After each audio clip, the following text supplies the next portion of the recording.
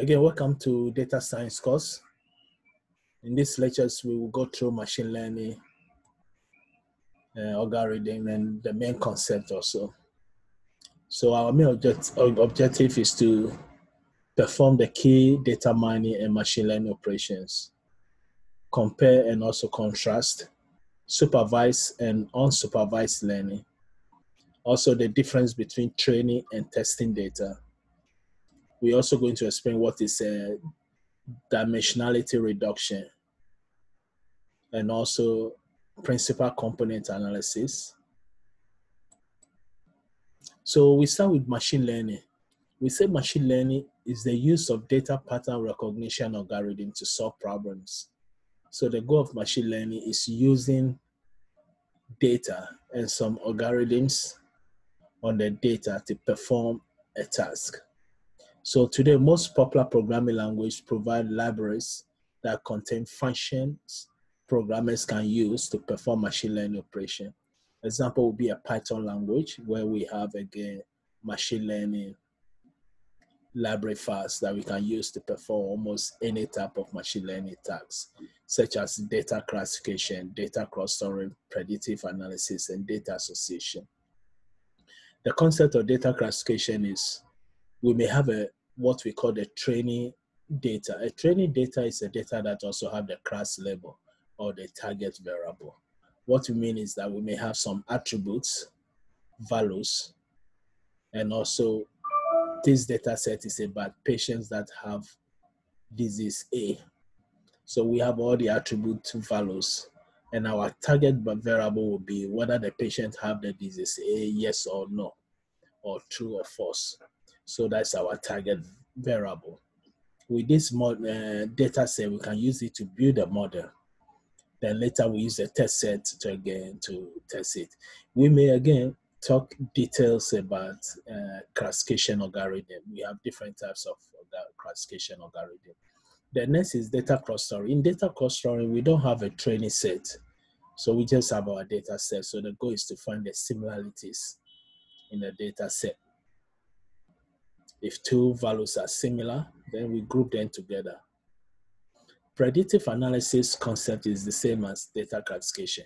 But in predictive analysis, again, we have a data set and we can build a model. Based on that model, we can be able to predict, predict in the future.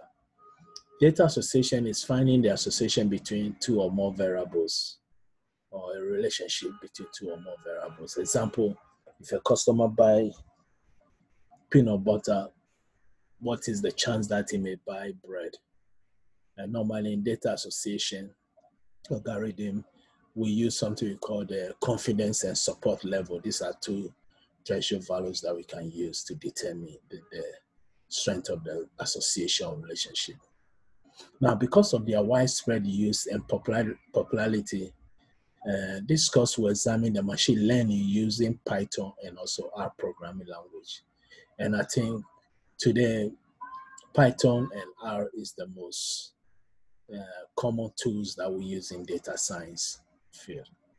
So many visual programming environment also uh, available, such as RapidMiner. In RapidMiner, I really don't have to know the packages or know the coding. It's more or less a graphical user interface. So you click and drag and run the code or command-driven interface uh, concept. With, uh, we also have what we call the orange. We also have Weka and so many different types of uh, again visual programming environment. So yeah, we say machine learning versus artificial intelligence.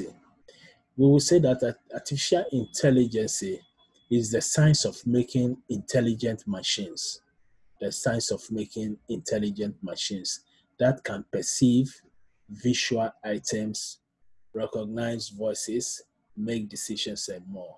So by looking at this definition, we can say machine learning is, is, a, is an artificial intelligence.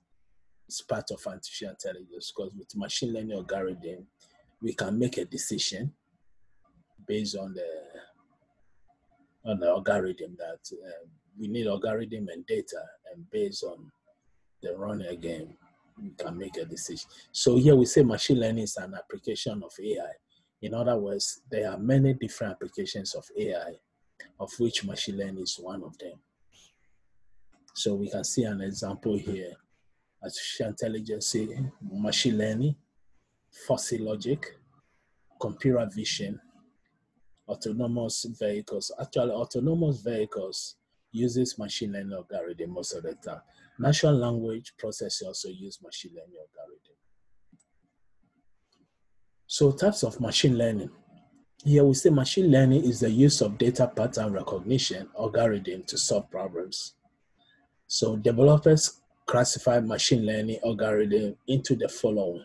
We have supervised learning, which is the classification. We have unsupervised learning, which is clustering. We also have reinforced learning and also deep learning. So suppose uh, we know uh, supervised learning is the use of an algorithm that uses a labeled data.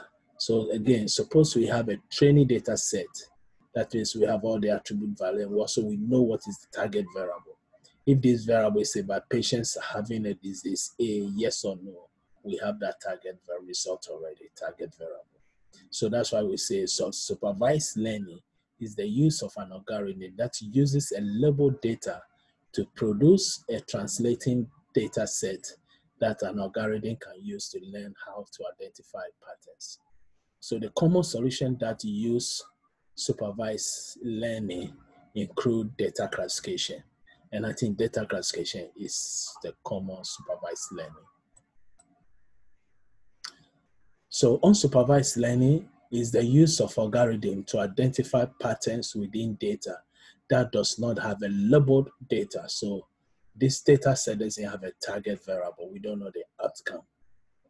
So our main goal is to find a similarity between the data and then we separate it into two. So we say common solution that use unsupervised learning include data clustering and also data association. The next one is the reinforcement learning. And this is the use of feedback loops to reward correct predictions and to punish mistakes as shown here. So we have a, we build a model, then we apply a data on the model. Now, if the decision is correct, then we give the model a reward feedback. If the decision is not correct, then we punish it. So it's like training the dog. If the dog do good thing, you give him reward him. If you do a bad thing, you punish the dog. So those are the three major machine learning algorithms. But within that, we have so many. For example, classification, we have maybe over 10 algorithms. Clustering, the same concept. Associations, a little bit fewer. Then we have the reinforcement learning. Deep learning can fall between classification and clustering, depends because deep learning is the concept of neural networking. So these are some of the algorithms. Here we have the Apriori is a data association, DB DBSCAN, data clustering, and we explain each, each category unsupervised. Uh, decision tree classification is a data classification and it's a supervised. We also have a decision tree regression. Both are again can be classification, but regression normally the target variable that we want to predict is a quantitative data. It's a quantitative data. With decision tree, it can be a nominal data for what we want to predict. Let's say true or false, yes or no. So again, these are some of the algorithms. We have eh, a naive Bayes eh, and logistical regression, which is unsupervised and predictive analysis. K-means is data clustering unsupervised. And K nearest neighbor is data classification supervised. So we start with the supervised machine learning. And here we say supervised machine learning is the use of an algorithm that uses a labeled data to produce a training data set. So again, a labeled data or a training data set is a data set that we know the target variable, the output, we have the results. So it's very easy to use a training set to build a model. So training data set that an algorithm can use to learn how to identify patterns. A solution that uses a supervised machine learning approach will first specify a training data set from which the model can learn to match patterns. So the training data set must have values for the independent variables that will be analyzed, as well as the correct results for the dependent variable. And here we say that mostly developers normally use 70 to 80% of the data set as a training set. The next step, we specify the testing data set that the model can use to test its accuracy. So like the training data set, the testing data must have values for the independent variables with which it will perform its analysis and also dependent variable that the model will compare to its results. And we say here the training data set normally consists of 20 to 30 of the data set. And then we can use this model with new data to classify data or predict results. So the step one again, supervise. We have to use the training data set to create our model or develop our model. Then step two, we are going to train the model by using the testing data to test the model also in step three. So training the model means we are building the model. Then test data set or testing the model means we are looking for the accuracy or correct prediction. And these are some of the tools we can use to measure predictions, accuracy, and also confusion matrix. So this example of a training data set. A training data set again is a data set that also have a value for the target variable.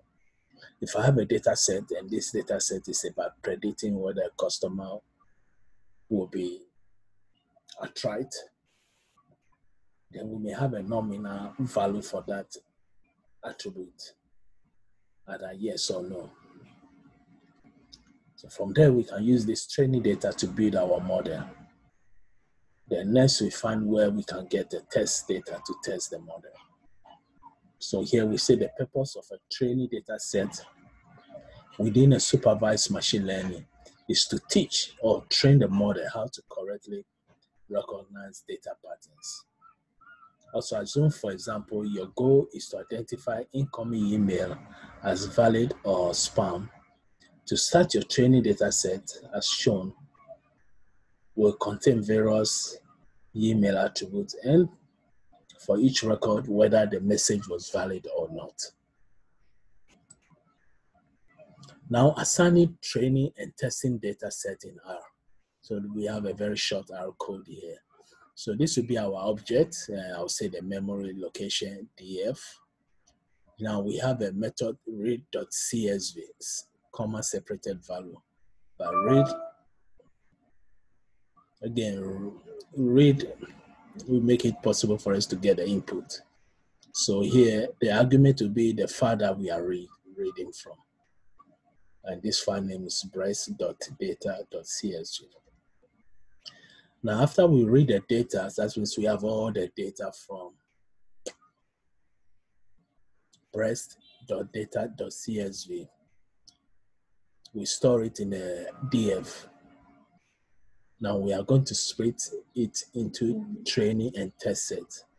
Again, training is used to build a model, test set is used to measure the model performance. So here we have indices. We are using sample, then degree of freedom, length, uh, one to n row as in intercept now 0.7 times n row degree of freedom. So next we assign the DF with the indices from 1 to 7, then DF negative indices 1 to 7. So we're almost done with our training data and testing data. So we print the total rows, how many rows we have. Then print the training rows. And so here we have row. Then the testing will also be row test data.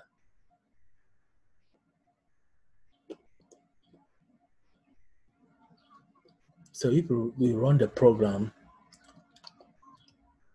again, this is R. This is what we get. First, we print the total rows. Then second, we print the number of rows we have in the DF, which is CC2. Then print the training rows.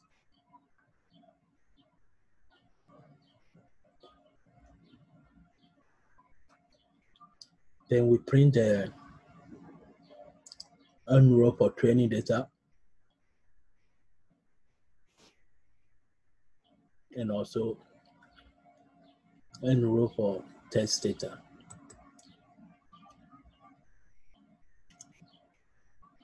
Now the next step is determine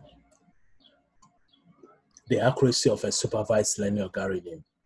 And here we say after a supervised machine learning algorithm trains a model, after it has trained the model, the program should use a test data set to determine the model's accuracy. Very important.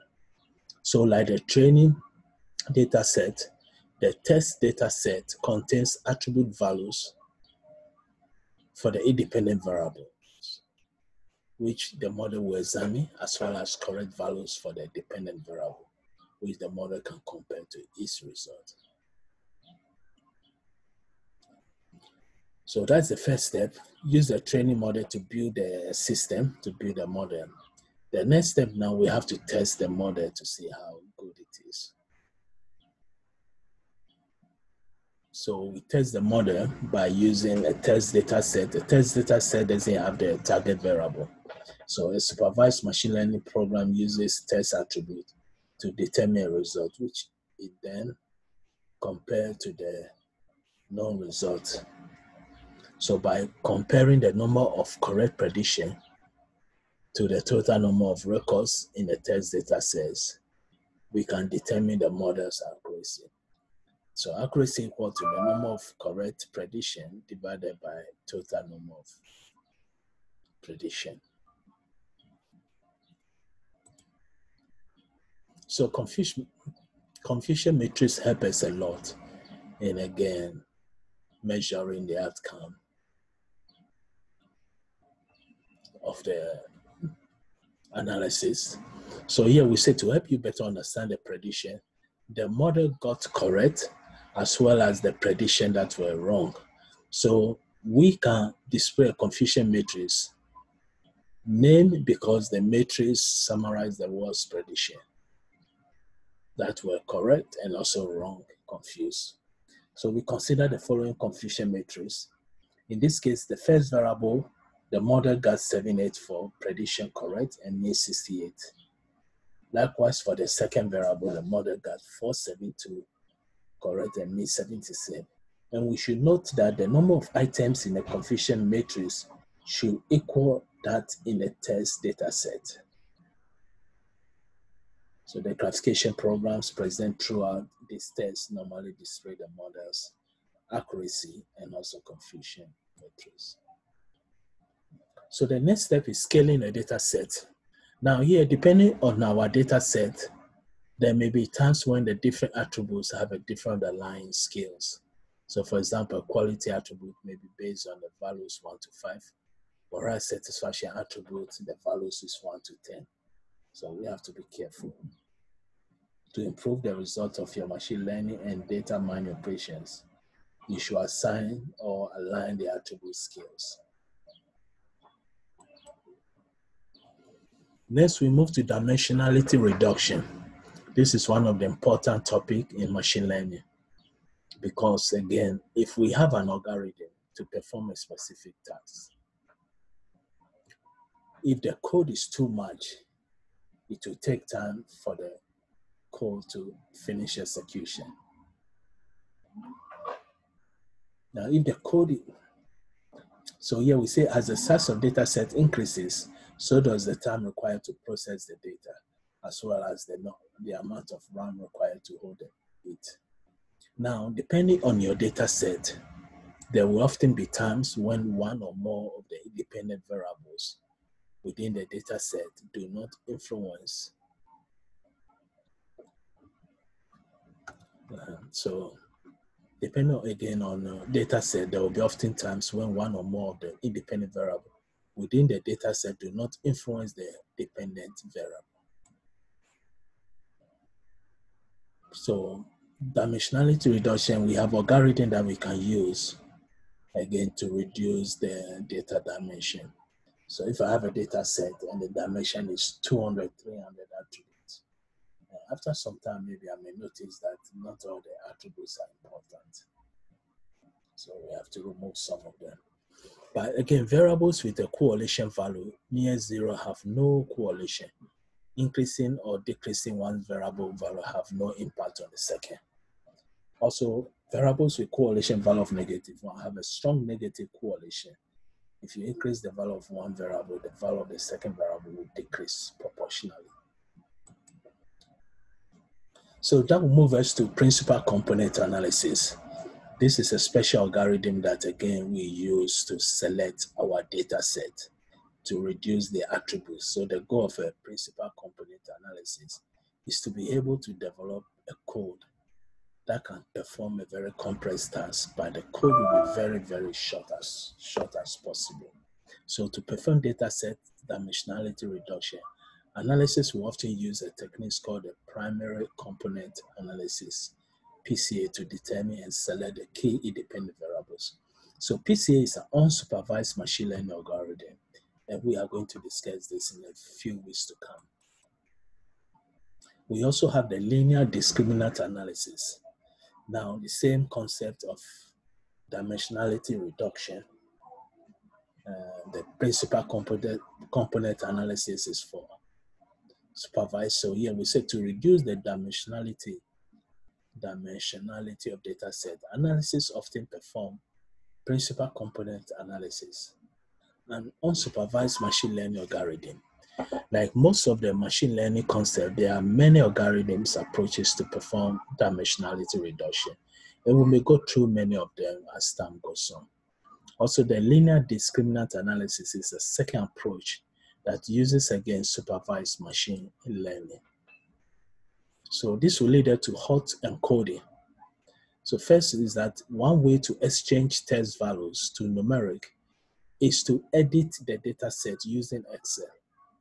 You can also use a programming language such as Python and or R. And if I want to make any change to the test value, I have to edit it.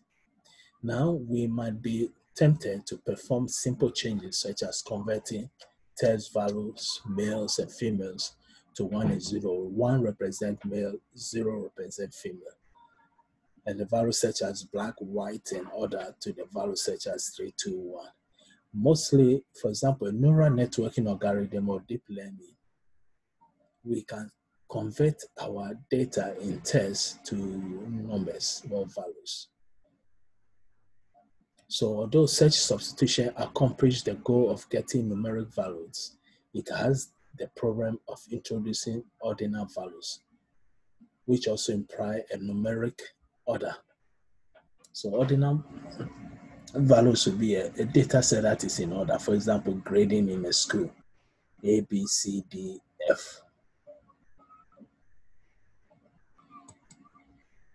So this example of encoding. So here we say to avoid such other implication, developers use a technique called a hot encoding, which rather than assigning ordinal numbers Instead, assign binary vector values. In this case of male and female, you might use the following vectors, male 1, 0, female 0, 1. Likewise, for black, white, and other, we may have black 1, 0, 0, white 0, 1, 0, and other will be 0, 0, 1. Since 1 is diagonal in the matrix, uh, that's good.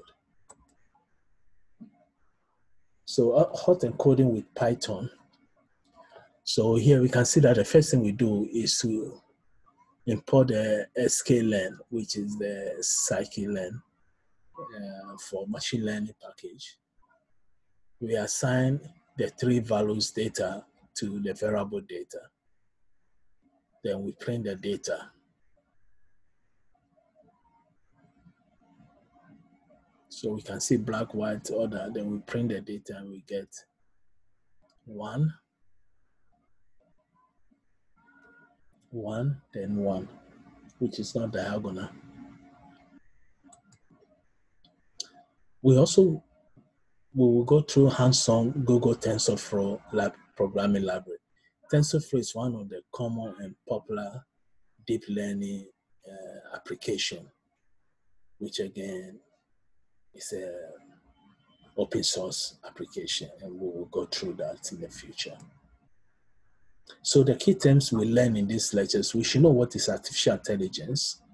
That's the science of making intelligent machines that can perceive visual items, also recognize voice, make decisions, and more. Machine learning is an application of artificial, intelligence. We also should know what is classification. Uh, classification is a supervised machine learning solution that assign data item to a specific categories. And clustering will be an unsupervised machine learning solution that group related data items. And deep learning is a rankly structured process that leverage layers of machine learning for which the output of the one layer becomes the input to the next. We also talk about machine learning, the use of data pattern recognition to solve problems. Then we also talk about reinforcement machine learning, the use of feedback loops to again reward or punish correct or wrong predictions. We should also know what is a supervised learning, a machine learning technique that uses training data set to teach the model how to perform a task. Now, the use of an algorithm that uses label data to produce a training set from which the algorithm can learn. Then we have the test data set, and that's a data set with predicted variables and correct results for the dependent variable that is used by machine learning. So testing data set, a data set that contains the values for independent variables as well as values for the transparent uh, dependent variable that a supervised learning algorithm uses to test the accuracy of its model. Uh, so we also have the training data set unsupervised learning. This is a machine learning technique that does not use a training data set. So this will be at the conclusion of our lectures. Again, in this lecture, we learned the basic concept of machine learning uh, algorithms. And also, we went through some of the few terminologies. So again, we meet in our next lectures and again, wish everybody the best and thank you.